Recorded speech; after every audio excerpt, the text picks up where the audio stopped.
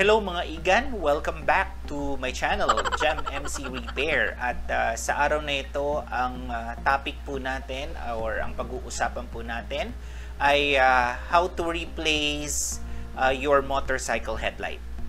familiar, familiar.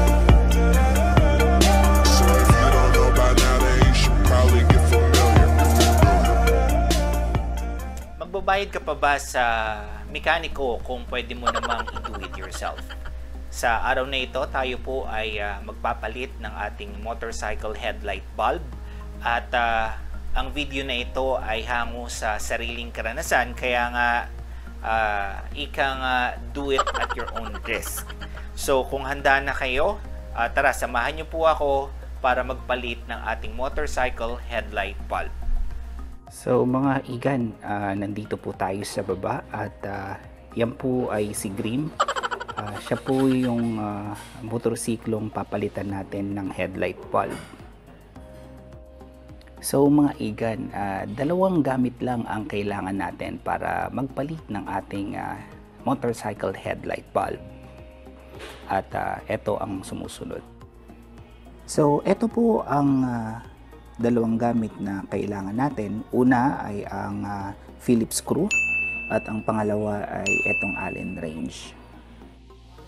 So, para mabaklas natin ang ah, panel na ito, itong buong assembly, ah, dalawang screw ang tatanggalin natin sa harap. Ito po yung una at ah, pangalawa. At ah, gagamitan po natin ng aling ah, wrench para tanggalin itong unang dalawang screw.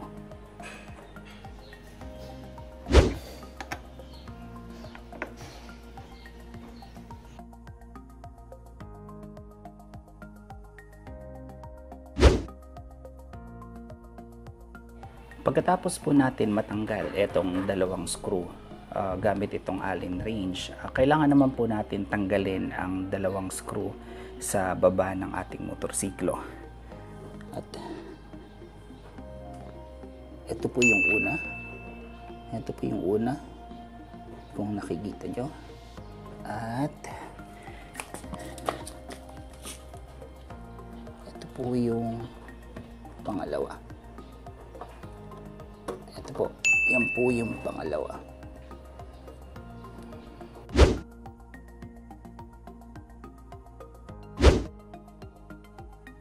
At sa likod po ng ating motorsiklo, meron tayong ah, anim na screw na tatanggalin.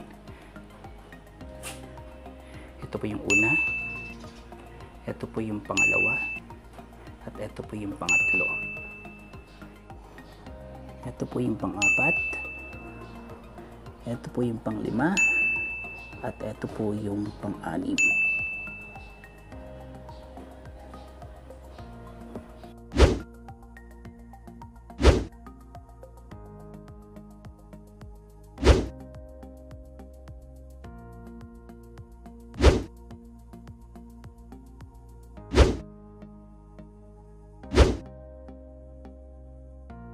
So pagkatapos po natin tanggalin ang screw sa harap at sa likod, ah, pwede na po natin tanggalin itong buong headlight panel. So ang gagawin lang po natin, ah, maging maingat po tayo sa mga clip. Ilahilin po natin itong ah, labas na portion ng headlight panel.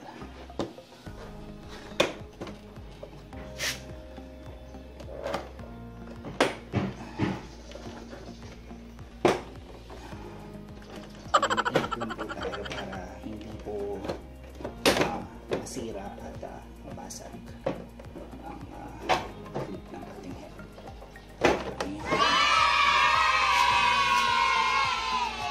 At ah, ito po ang buong assembly ng headlight at ah, ang tatanggalin po natin is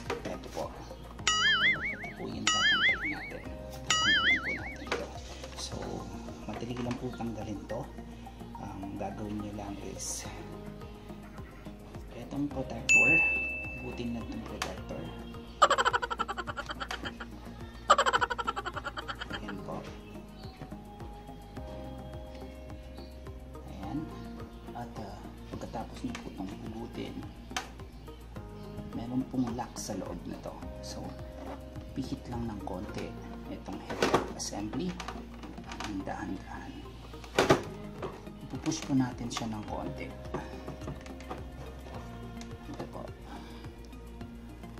Okay.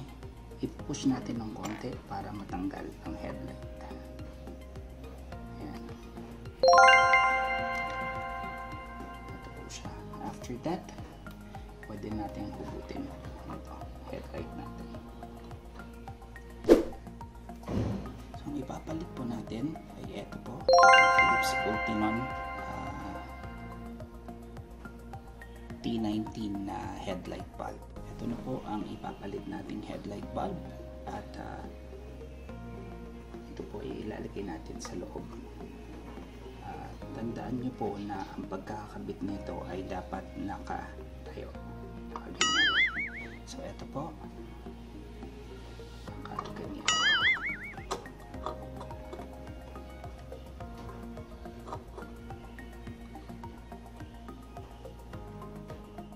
So, pag kinabit po natin ito, make sure na itong dalawang contact point ng ating socket ay dapat naka uh, naka-align sa dalawang contact point ng ating headlight bulb. Okay? So, dahan-dahan lang po natin ikabit to para hindi pa tayo magka-problema sa linya. Ayan po. Kapit na pila. After po natin ikabit, um, huwag po natin kalimutan na i- sa uli itong takip at uh, para hindi po uh, mabasa ng tubig ang ating headlight bulb. Ayan.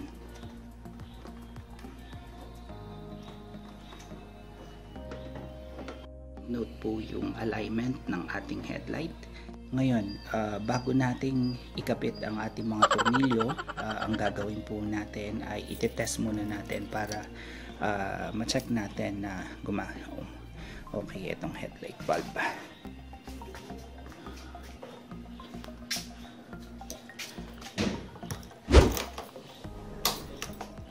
matest po natin kung okay yung ating headlight bago natin ikabit ang mga motor ang uh, mga tornilyo uh, subukan po natin i-start ang ating motorsiklo at test natin yung high at yung low option niya. So meron po tayong light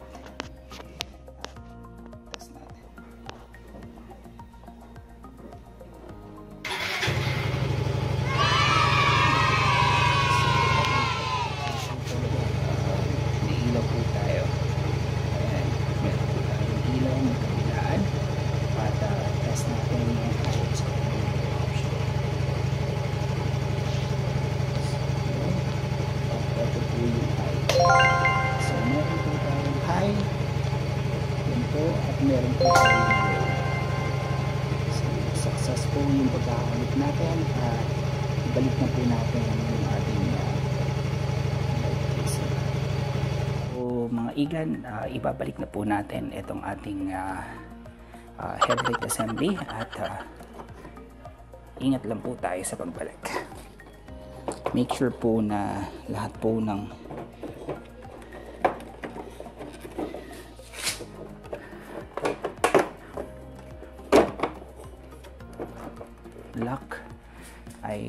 maayos po yung pagkakalagay.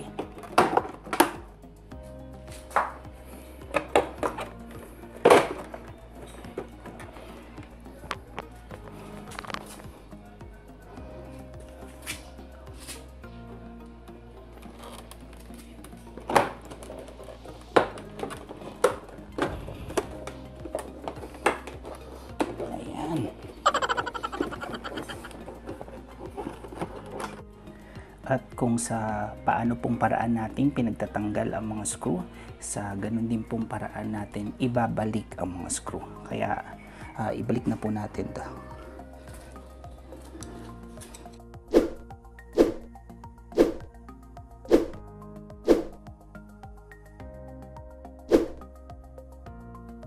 So make sure po na maayos yung pagkakabit ng ating mga screw para wala po tayong ah, rattle na maririnig pag ah, pinatakbo na natin ang ating mga motor.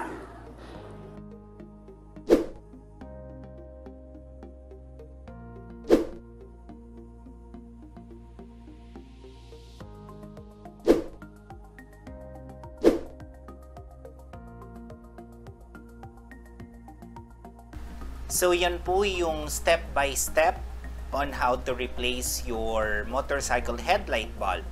At kung nagustuhan niyo po ang ah, video na ito, don't forget ah, to press like and ah, subscribe to my channel for other upcoming videos.